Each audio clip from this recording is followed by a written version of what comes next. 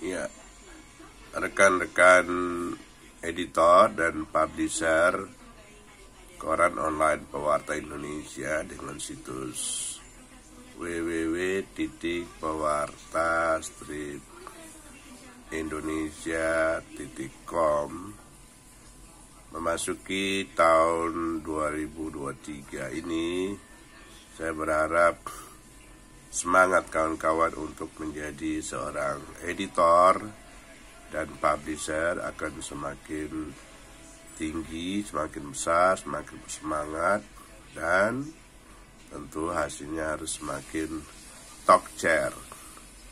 Nah saat ini saya ingin uh, membagikan tips penambahan ilmu buat kawan-kawan sekalian.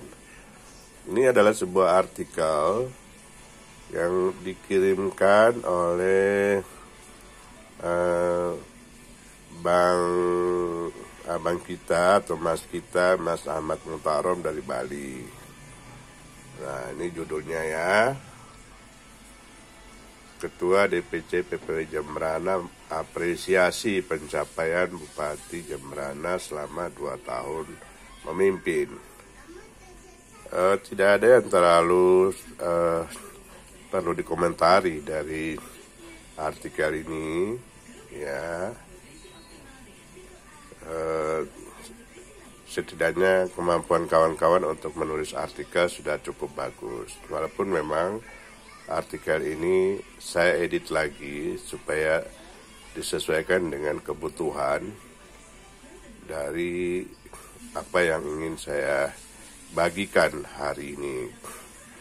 Nah, teman-teman sekalian, terutama Mbak Neneng dan Mas Ahmad Mutarom dan semuanya lah, ya. E, kalau lihat di sebelah kanan atas, ini ada e, kode atau ikon Y, ya, Y, yes atau yes. Di sampingnya itu ada dua titik warna hijau, ya, dua titik warna hijau Eh, kita bisa membuatnya warna hijau yang sebelumnya merah semua. Ya, sebelum ini semuanya merah. Tapi kemudian setelah saya edit sedemikian rupa, maka dia bisa menjadi warna hijau. Itu sebenarnya menjadi bahan pelajaran lanjutan bagi seorang editor dan publisher untuk membuat artikel yang uh, apa yang kita publish di media-media online yang mereka sebut sebagai search uh, engine COO ya. Uh, search engine optimization. Nah untuk membuat uh, iosnya ini menjadi hijau, maka ada beberapa hal yang harus kita lakukan dari sebuah artikel yang sudah kita tuliskan. Ya, caranya adalah kita lihat di bagian bawah ya. Di bagian bawah. Nah, ini kan kalau kita tidak utak-atik artikelnya, maka keduanya ini pasti warna merah.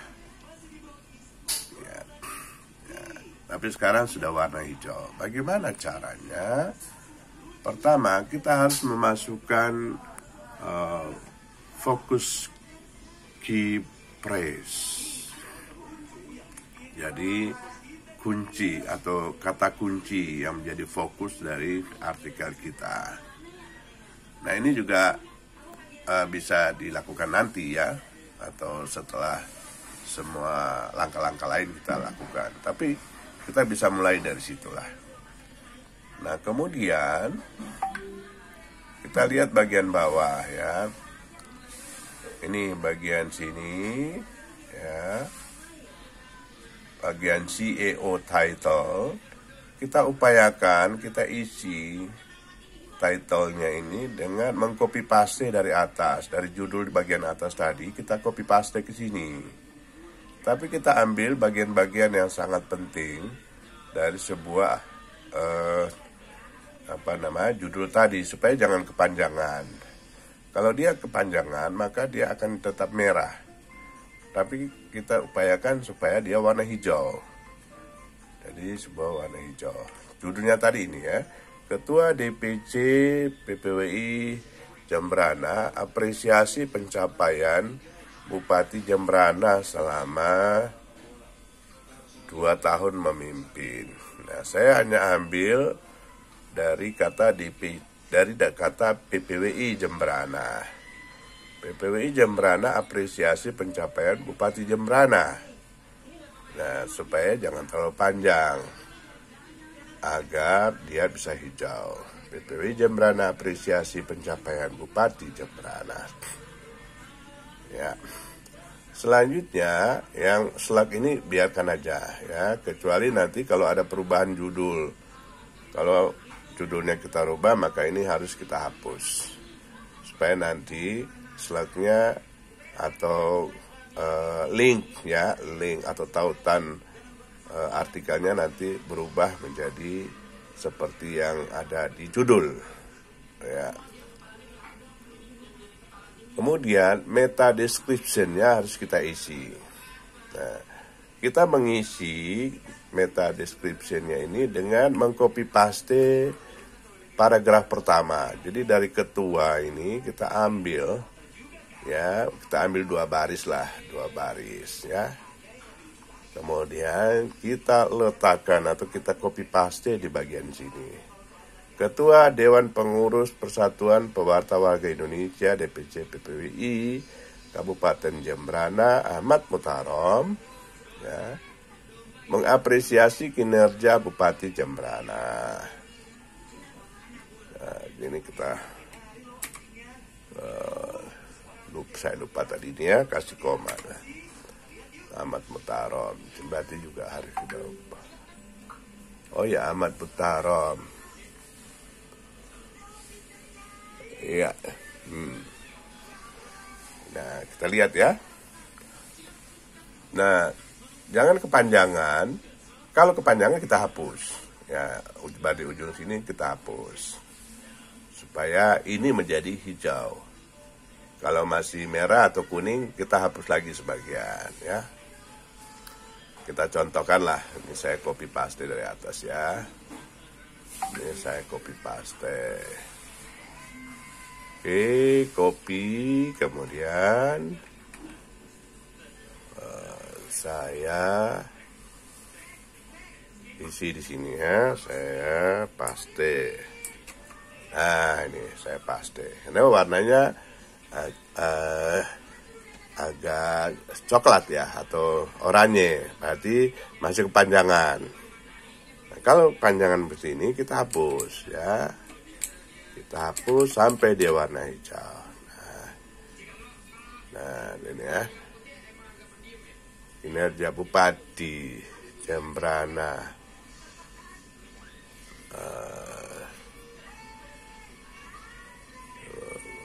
Kabupaten Bupati Jembrana.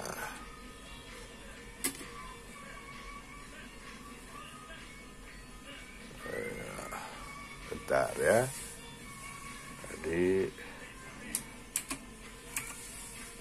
Jembra Jembrana. Hmm. Nah, atau ini kita hapus ya. Pokoknya Bupati Jembrana tetap ada. Ini kita hapus. Ya.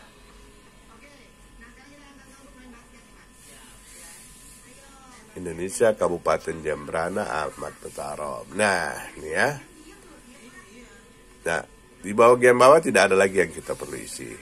Jadi yang perlu diisi satu, dua, tiga. Nih, tiga. Tiga saja. Nah, upayakan agar di fokus ke praise, praise ya. Fokus ke praise itu adalah kata atau frasa yang ada kita temukan di CEO title dan di meta description. Nah, ini ada ya. Bupati Jembrana. Di sini ada Bupati Jembrana. maka kita tuliskanlah di sini. Ini kalau kita kosongkan, nih masih merah ya, merah dia. Ini kalau kita isi, ya tadi, terus, uh, sorry, ya, ya, masih merah kan? Kita isi Bupati Jembrana. Bupati. Bupati Jembrana.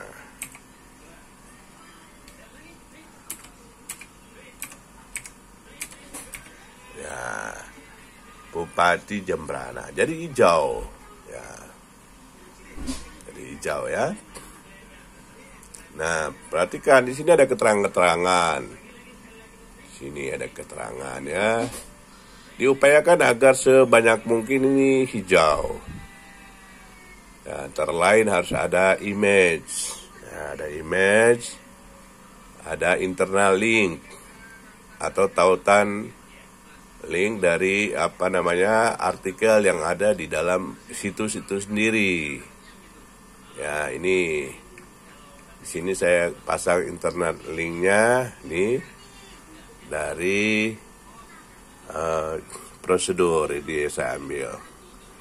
Jadi internal linknya ini atau tautan di atasnya saya ambil dan saya copy paste di sini. Diambil dari sini ya. Ini unlink dan link ditaruh sini. Ini tinggal copy paste ini. Ini tadi saya copy paste di sini. Yang uh, prosedur ini tadi, ya, saya copy paste di sini. Terus kita buat open in new tab. Terus kita klik. Nah, oke. Okay.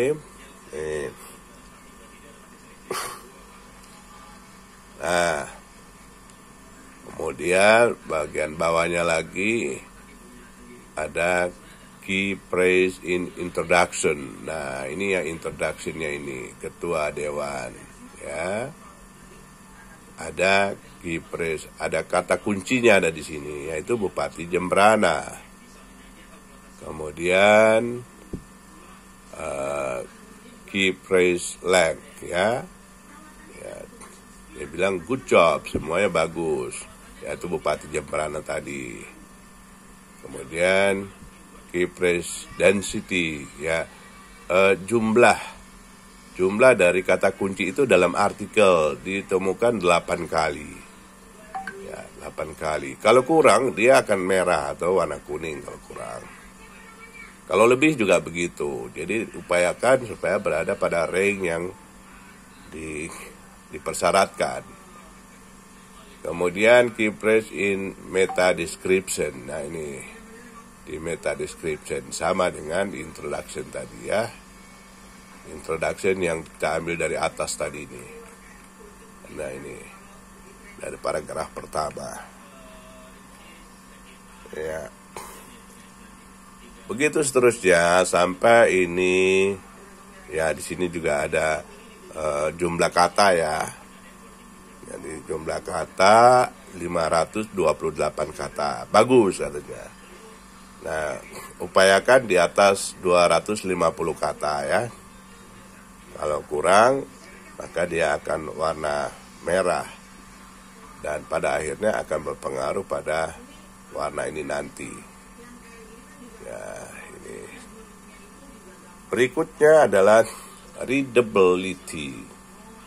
Nah, ini kita harus perhatikan ini ya harus ada subheading nah ada subheading subheading itu atau uh, apa namanya uh, anak topik ya topik baru ini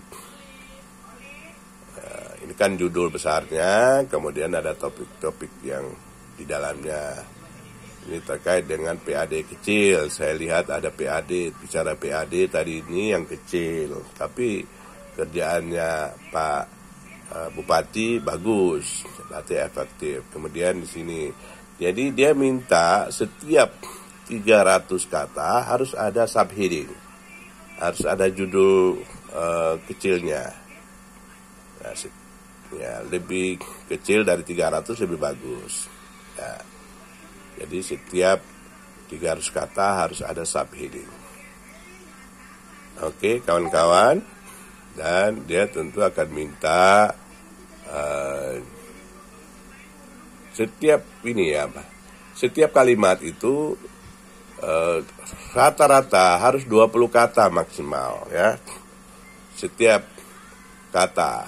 Misalnya lebih lanjut Muhammad Mutarom menambahkan bahwa cara kerja Bupati Jembrana sangat luar biasa, tidak kenal hari libur. Tadinya ini menyambung sampai di sini, satu kalimat saja dalam satu dalam satu paragraf ini tadi ya. Tapi akhirnya saya potong supaya Eh, tidak lebih dari 20 kata. Ya. Jadi dengan pemotongan-pemotongan seperti ini, tapi harus uh, make sense ya, harus uh, punya makna. Jadi kita perlu belajar untuk uh, membuat kalimat yang tidak panjang-panjang, tapi sambung menyambung antara satu kalimat dengan kalimat berikutnya. Nah, inilah yang perlu kawan-kawan latihan agar bisa mengisi CEO ini. Nah, apa manfaatnya? Pertama adalah uh, kita belajar untuk disiplin menggunakan aturan-aturan dalam penulisan yang baik dan benar. Ini standar internasional kita pakai ini ya walaupun bahasa Indonesia tapi bisa ya, kita gunakan standar internasional dalam penulisan artikelnya. Jadi kita sendiri mendisiplinkan diri untuk membuat kalimat-kalimat efektif yang tidak terlalu panjang, ya, uh, tapi uh, kita uh, paham maknanya, paham maksudnya. Uh, jadi kalimat panjang itu tidak berarti lebih bagus. Tapi justru kalimat pendek-pendek namun saling terkait satu sama lain. Perhatikan bahwa kalimat itu harus memenuhi standar uh, rumus kalimat yaitu SPOK. Itu wajib. Ya, SPOK itu wajib. Ada subjek, predikat, objek, dan keterangan minimal dalam satu kalimat itu ada subjek dan predikatnya. Ya. Anak kalimat diupayakan dihindari. Kalaupun mau ada anak kalimat ya satu anak kalimat saja dan satu kalimat supaya jangan melebihi 20 kata. Nah, memang eh, ada nanti kalimat yang tidak bisa tidak harus lebih dari 20 kata. Boleh, tapi tidak boleh lebih dari 20% dari total dari total keseluruhan artikel kita ini ya. Kalau lebih dari 20% dia akan memberitahu. Nanti di sini akan diberitahukan bahwa uh, konsekuensi ya di sini nanti ya akan ada keterangan pokoknya. Masih merah pokoknya harus diperbaiki. Uh, saya tidak tahu apakah di komputer kawan-kawan itu keterangan untuk bagian bawah ini CEO ini bahasa Indonesia atau bahasa Inggris. Tapi bolehlah ini kan mudah tinggal di translate di Google. Saya aja menggunakan translate ini. Pakai Google untuk mentranslate. Ya. Supaya lebih tepat, supaya lebih paham gitu ya. Jangan kita menduga-duga. Ya. Ya. ya itu kawan-kawan yang ingin saya coba bagi uh, pemahaman dan uh, kemampuan, keterampilan kita untuk mengelola sebuah artikel agar uh, bisa lebih bagus dan manfaat lainnya adalah lebih mudah di search oleh Google ya oleh uh, Google Search. Jadi ketika kita ketik misalnya Bupati Jembrana, ya artikel yang kita tulis ini akan terindeks oleh oleh Google karena kita menggunakan kata kunci tadi. Nah, CEO kata kunci Bupati Jembrana. Ya demikian kawan-kawan sekalian mudah-mudahan uh, pembelajaran hari ini bisa bermanfaat, bisa dipraktekkan dan artikel-artikel teman-teman baik nanti di kopi maupun di media-media lain tempat kawan-kawan berkarya akan jauh lebih bagus. Demikian sekali lagi lo diperhatikan bagian sini ya. Juga bisa kelihatan di sini, di sini. ya ya oh ya